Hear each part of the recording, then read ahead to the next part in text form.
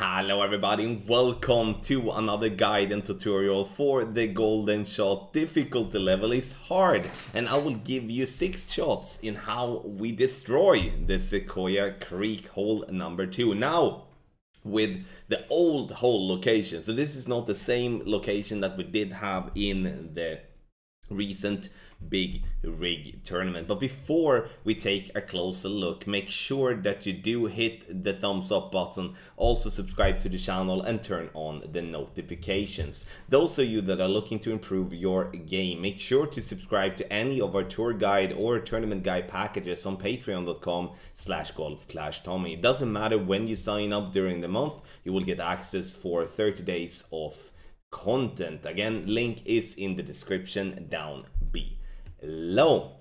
Alrighty then, let's take a look at Sequoia Creek hole number two. One of, um, I'm not gonna say my, it's not my favorite par three, but one off. I do enjoy this rough bump in particular, but the problem we do have here on this par three is that we can't play the rough bump in any, in all the wind angles, because if we do have more tailwind, then we're gonna pull into min club, and then we're gonna you know, then we're gonna have to go with a decent amount of overpower or we're just going to miss the rough. And that's not something I want to do. So we do have two landing positions for you all. And that's going to be one for tailwind and for crosswind. And it's gonna be one for a headwind alone, where I would say the one that will give us the best success overall, that's going to be the, the headwind one because we're going to play uh, rough bump.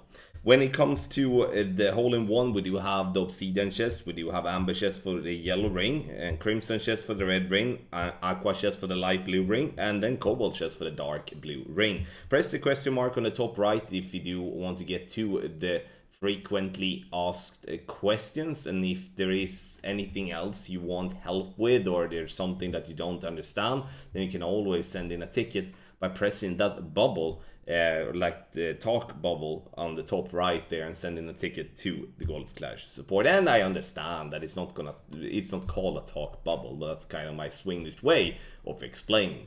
All right, here we do have the landing position in uh, tailwind and the crosswind. And the easy thing with this one is that it's an NMT. What does NMT mean? It means no move target.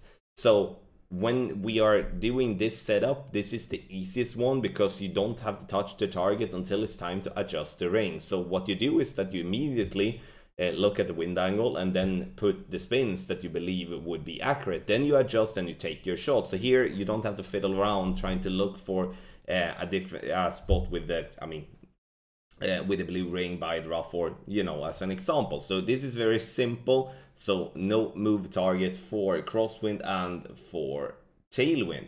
But when it comes to the headwind one here we're gonna take a look at the rough bump which the landing spot is a little bit di uh, more difficult. And I'm trying to do my best here to um, to visualize where we want to be. We do want to be just by the very edge of the rough just before it shows we bounce on the fairway after the rough. And this is before spin, where we do look at the tip of the ball guideline to be just by the divide, so in between the dark and the bright green square row. you can also see that that line is aligned with, out, with the right side of the red ring. So if you do still have the red ring, um, and you haven't got it yet, then you can also use that as a reference. If you have already gotten the red ring, then that's a non-existent reference, so but something to, to have in mind. And this play is only in headwind, because when we do play a rough bump in a crosswind or a tailwind, we're going to adjust on to different height which means that the more up you adjust, the more the ball is going to fly. And that's going to be very difficult to uh, to uh, compensate for and you need to be having a lot of experience to be able to do so. And i'm not saying that you that are watching here does not have that experience. It's just that it's going to be a cause of missing and that's going to be uh, just stupid of us to actually design a play like that uh, where we do have a bigger risk of missing the rough and the, hence not getting a chest with our free shot. Because in the end that's what we do want to get. We do want to have a chest and here if you do hit a perfect ball and have done everything correct, we can always guarantee a red chest with a perfect ball on this golden shot. But then there's all sort of things such as pull angles and ball centering and everything like that. But enough talks about that. Let's take a look at the videos here now. We start with an NMT. You can see I'm not touching the target until it's time to adjust my range. So I start by adding a backspin and I'm also adding left spin. You can see here that I'm adding approximately 0.2 left spin and to be fair though, I'm playing with a slight 59 on my pull angle, which pulls me a little bit more left than intended. Adjustment is always going to be over the bullseye. And when it comes to the VPR tables, you can see there on the right hand side, the green is the one we are following in tailwind and crosswind. And red is what we follow if we do the rough bump. We bounce nicely, you can see it's a super simple one, and this would have been the yellow ring if we would have still had that one there. And a little bit left, I mean, this is a tough one when it comes to the NMT, but a super simple chest to get. Getting some berserkers as uh, which becomes more and more important, I would say, especially if you do play pro and expert, getting uh, having some berserkers is is very important as we do have very few to be won in tournaments. Now, playing this one with 3.8 backspin and half a bar of uh, right spin, we're going to uh, have 5.7 miles per hour. You can see follow the green ones and I'm adjusting over the bullseye, pulling a 3.1 rings. Center the ball, which always is difficult, especially here when it is a bit right, and try to hit perfect.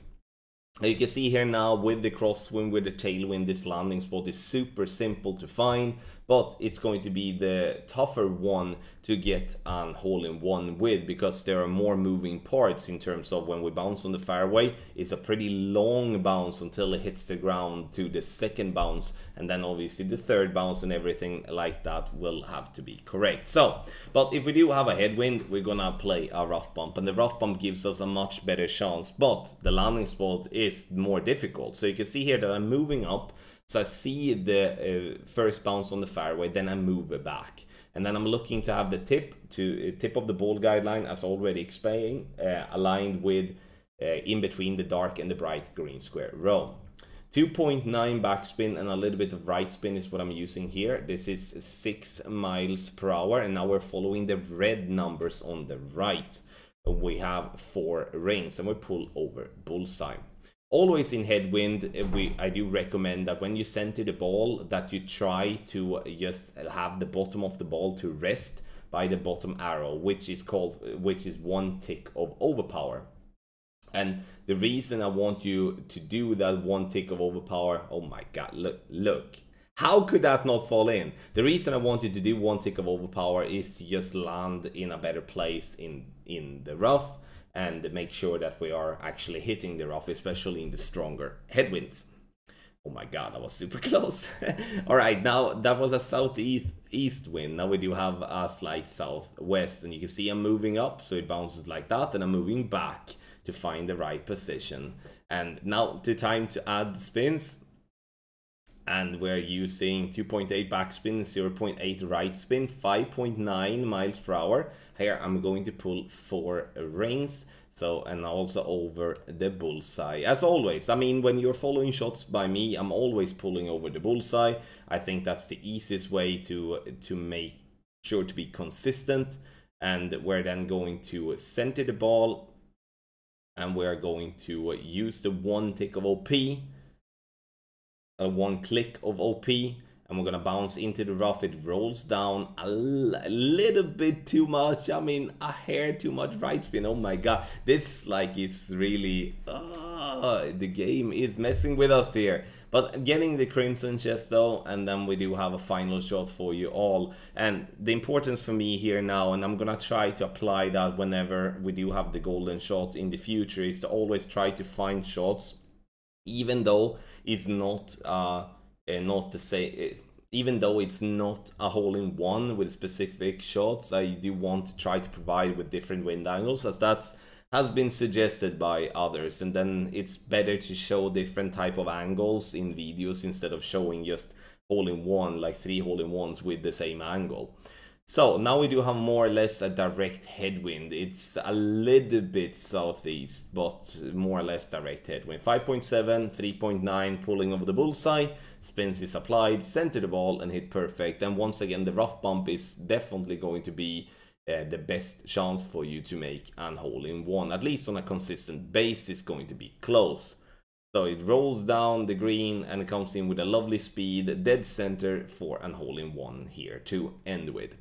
So let's see what we do get in the chest. Obviously the 9 Berserkers is a very well welcome addition uh, for the general player. And uh, we're gonna see here now after this that we're gonna open up and take a look at the text guide. And as always, when it comes to the text guides, my friend. It's made by Tony Richardson, uh, based on my shots and my shots alone. And this here, as you see, it's a two-piece, which is very common, especially on the kind of newer courses. We do have on the left everything in green, no move target, so don't touch the target until it's time to adjust the rings. We do have the VPR table on the bottom left, and then we do have the spins. 4.2 backspin, all side spin, and direct tailwind. Northeast wind, 4 backspin, half a bar of left spin. Wind coming right to left with tailwind, 3.8 backspin, 0.8 right spin. Wind coming right to left with crosswind, 3.2 backspin and 1.5 right spin. Wind coming left to right with crosswind, 3.2 backspin and 1.2 left spin. Then we move over to the right side. There we you play with a driver and we do a rough bump. Bullseye just before fringe with ball guideline tip in between dark uh, and light green square row. VPR table on the bottom right and this, uh, the spins that we're using is in direct headwind, two and a half backspin, half a bar right spin, when it comes to wind coming right to left with headwind 2.8 backspin 0.8 right spin. And wind coming right to left with uh, sorry left to right with headwind 2.8 backspin 0.3 right side spin so there you have it ladies and gentlemen. Let me know in the comment section below what you thought about this golden shot. Did you have any success? And as always make sure to subscribe to the best guides on the market on patreon.com slash golf clash tommy especially now when the nine hole cup is coming up as well where we obviously will be making a guide. So make sure to sign up link in the description down below. Thank you so much for watching. Good luck in your golf clash game